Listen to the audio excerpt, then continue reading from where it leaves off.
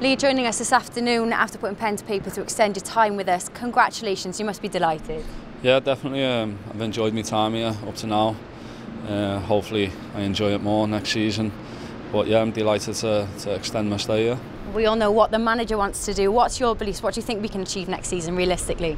I'd be disappointed with, um, if we weren't up there contending with the with the playoffs.